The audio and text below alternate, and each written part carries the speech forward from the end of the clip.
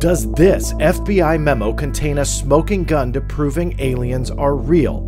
It is an official document, and it states that an investigator with the Air Force said three flying saucers were recovered in New Mexico, and each had three three foot tall human shaped bodies inside, dressed in a metallic cloth.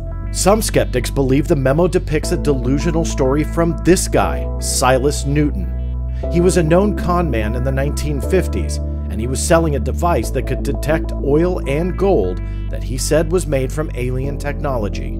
He was also believed to have made up UFO stories, but that debunking attempt of this memo apparently didn't fly with the FBI. In 2013, although the FBI said it didn't prove aliens were real, they never blamed Newton for the story or the memo, and they still call it a mystery.